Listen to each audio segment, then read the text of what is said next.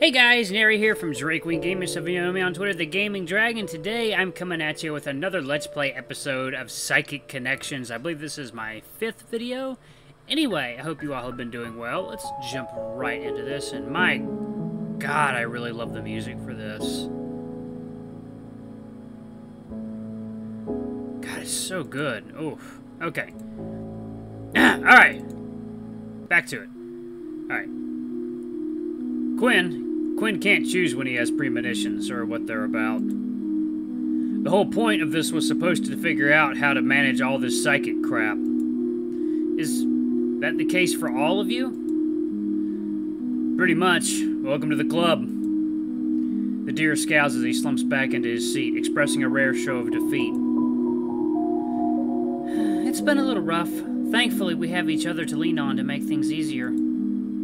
It hadn't really occurred to me what they that they might not be happy about their own situation. Normally, in any of the stories I've read, having basically superpowers had little to no downsides.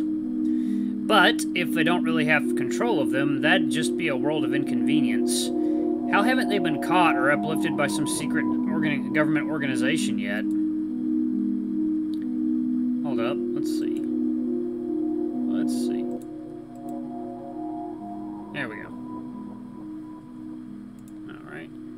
I think I can almost understand the urgency to include me. How many people could they even talk to about this? It must be hard. It is sometimes. It's been difficult in different ways for all of us, but we're making the most of it. More than anything, Mason, we're hope we're just hoping you'll be open-minded enough to join us. Even if you don't realize it yet, sooner or later you'll discover whatever your psychic ability is. We can help you when that time comes. Hell yeah, I'm gonna join you. So, what would I need to do? Sign some sort of blood oath or something? Wh what? No! You just join us for our meetings, that's it. Occasionally, we might try to do something together as a group. What Zoe, what Zoe means to say is that on occasion she will force us together to various uncomfortable activities. Oh, come on, it's never that bad. Please. I had a sunburn for weeks after that beach expedition you put us through. I thought it was pretty memorable. I'd never been to the beach before. Exactly. Quinn gets it. Outside of a little sunburn and Jude being too much of a grump to go swimming, it was a blast. I told you I don't have a good pair of trunks for the beach. Crazy as it sounds, I agree with Aiden. It was a dumb trip. And I'm sorry you feel that way, Jude. To think I convinced myself you had enjoyed collecting all of those seashells. yeah, well, uh, not like Mara has much else to do. The others laugh while Jude simply sits back with a huff. It's strange. I wasn't sure if they were even friends before, but now they're all bantering like they've known each other for ages. It feels less tense than before, as if the previous revelation of the supernatural abilities had never even happened. Maybe that's why they really spend time together, because it's the only time they feel normal. They aren't necessarily bad people, they're strange for sure, but everyone has their quirks. Plus, if Zoe's right about me, then maybe it isn't the worst idea to join them. Though, that small voice in the back of my head telling me to get up and leave hasn't quite gone away yet. Alright, sure. I think I get it. Huh? I might not be sure about all this psychic business. In fact, I still think it's pretty crazy.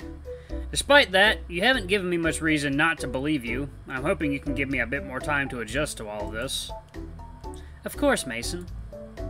In that case, without further ado, welcome to the Psychic Concord.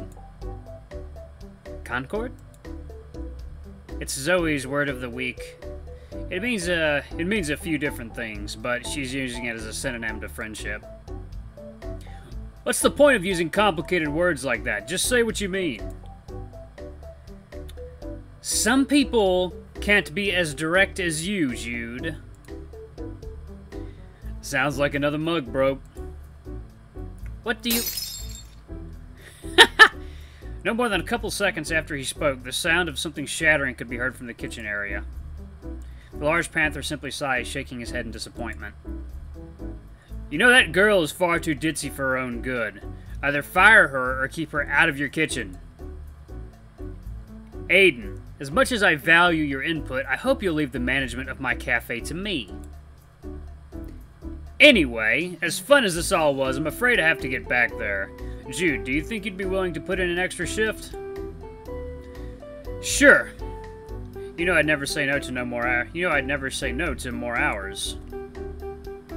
You work here? Part-time, but I'm always picking up a shift here and there when Elliot needs me. Somehow I can't even picture the big buck working in the service industry. The thought of him greeting customers with a large smile. No, I simply can't imagine it. Sorry guys, I forgot to frickin' mute Telegram. Jude. Jude excuses himself and follows Elliot into the kitchen. There were four. I'm sorry. There were four. I'll dearly miss Jude, but I'm excited to talk with you more, Mason. Was that a pun? Aiden rolls his eyes so hard I think they might roll back into his skull. Meanwhile, Zoe simply, simply shakes her head. Based on the reactions, this might be a regular occurrence. It's possible that Quinn might simply be a terrible joke enthusiast. Or at least I would be, but honestly, this might be good timing. I actually had something else I needed to take care of today. What do you mean? When I texted everybody, you said you'd be free today. I mean, yeah, I am, provided I skip class to be here. It's the first week of the semester and you're already skipping class classes, Quincy? Oh! I told you not to call me that! Quinn has an expression I've never seen, seen on his face before. Somehow it's even more intimidating when considering I've rarely seen him without a stupid grin across his mug. It would seem he gets triggered by someone saying his full name, though I'm not sure why. Please, I'll go now, okay? I was just excited and I figured it was another introduction. I would have seen the instructor later to get the syllabus. You can't be skipping class, Quinn. What if an actual emergency occurs and you need those days? Geez, I get it. It's not for another hour. I'll be able to make it, no problem. Hmm. Well, it'll probably go faster if we get going now. You're going to? I have to get preparations started for cleanup after the club fair. We don't know when the frat wave will pass through this time around, but we have to be prepared for those Neanderthal pledges. If it's such a problem, couldn't you just report it? We have, we have, however, for some asinine reason, the dean refuses to do anything. He stated the fraternities were just living out their youth. It's absurd, but there's nothing more I can do. What about you, Mason? Everyone seems to be going their separate ways. What are you going to do? That's a good question. I do have a class later today, but I don't have to head back quite yet. I could stay here, maybe see how Jude acts at work, actually try some of the baked goods and chat with Elliot. Alternatively, I could head to campus early with Quinn and Aiden. It never hurts to be early to class. Uh, I think I'll head back to school. Hmm. I mean, I, I would like to spend more time with these two. Because I kind of skipped out earlier, so let's see.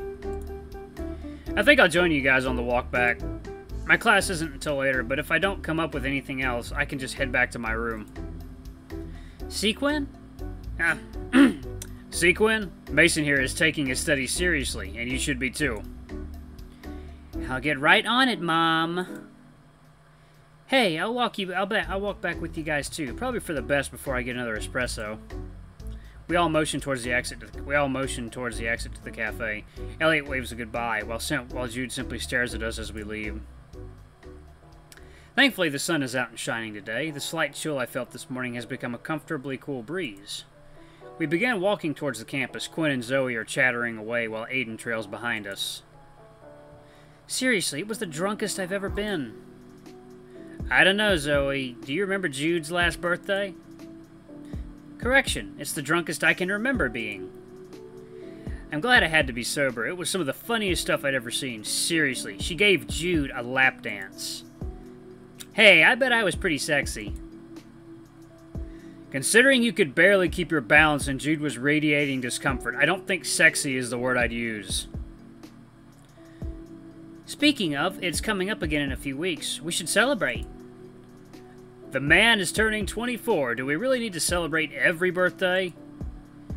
Yes, because who knows how many more we'll get to celebrate together.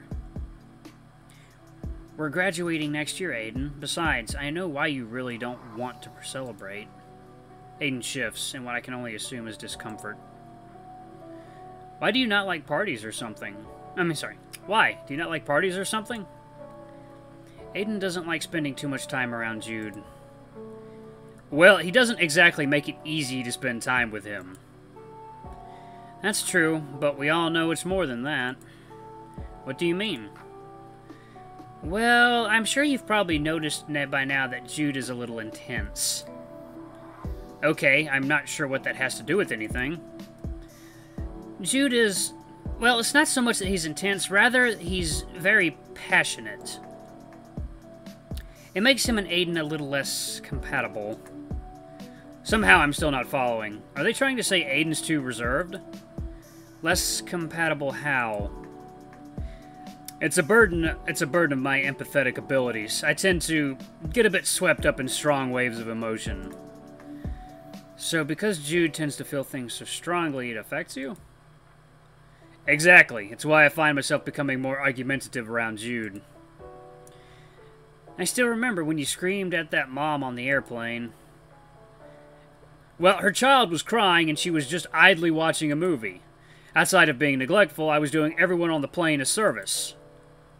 Somehow I think more people just assumed you were a pompous ass who couldn't handle sitting in front of a crying baby.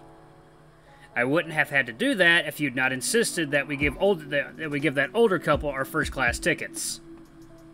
Regardless of your issue of your issues, Aiden, you have to be there. You too, Mason. I've got the perfect plan this year. I have to come? I don't even know what to bring. Oh, uh, don't worry about it. You've only just met, so chances are anything you got him would work. You don't just you don't get him what Elliot got him two years ago. What did Elliot get him? A book with a series of pickup lines and date ideas. Yeah, I got Elliot. I get Elliot was trying to nudge Jude to go out there, but there isn't a universe he was ever going to use that. So, what was the plan this year? It's a secret. If it's a secret, how exactly do you prepare appropriately? Don't worry, all of the preparations will be made ahead of time. How cryptic. I'm not too sure how I feel about a mystery birthday party. Jude doesn't strike me as someone who would enjoy a surprise party. Although, if he really does know what's about to happen, I can't imagine that kind of party would work either. Oh, wait, hang on, I need to stop here to grab a bite. Quinn points to a small cat to a small corner store. It looks like a, it looks a little bit run down. Really, Quinn? Couldn't you wait until after your class? No, Aiden, I really can't. I'm hungry, and there's only one thing that would fill me up right now. Please don't say instant... Instant noodles! Hey, my man! Before Aiden can protest further, the bunny bounced onwards to the, into the small store. Aiden simply stands there shaking his head, while Zoe simply chuckles as if this was an if this this was an expected outcome of our trip. Sorry, I'm flubbing my words so much, guys. I'm really hungry right now. One of us should probably go in there just to make sure he doesn't take too long. Ah, God, so many choices. Oh, God, what do I do? What do I do? Hmm. You're right, I'll go. I'll go. Yep. Well, we'll be here when you're done. Just try not to take too long. I nod and quickly move to catch up to the rabbit ahead of me. Entering the small store, the first thing I notice is the strong stench of tobacco. It's almost nauseating. I see Quinn moving down one of the small aisles and pursue him. Turning the corner, I see him duck down looking at various packages. He turns to me holding two instant ramen noodle cups. Hey, Mason, help me out. Which flavor should I get? On one hand, I love the chili flavor. On the other, I've never tried the lime one. I am not too knowledgeable on the subject, but I'm sure I can suggest one. Get both! If you don't like the lime flavor, you could always get the chili as a backup. Well, that's definitely a logical solution. Usually I try not to overspend, but I can't pass this up. Overspend, they're like 99 cent cups of noodles. After resolving to get both cups of noodles, Quinn moves further into the store towards the drink section. So, how are you holding up? What do you mean? You know, with all of us being crazy people with otherworldly powers. Oh, I mean, I guess fine? Thinking about it, I had calmed down quite a bit from the initial shock. It's certainly still strange to me, yet I don't exactly feel repulsed by it. You don't think we're monsters about to sprout third eyes or tentacles or something? Hmm. Well, if you do, I'll be sure to run away. For now, though, I think I'm safe to learn more about all of this. Well, I'm glad we didn't scare you off. Alright, guys, I'm gonna pause it here. I'm gonna quick save this. Yes! Another end to a nice episode. I really enjoyed this game.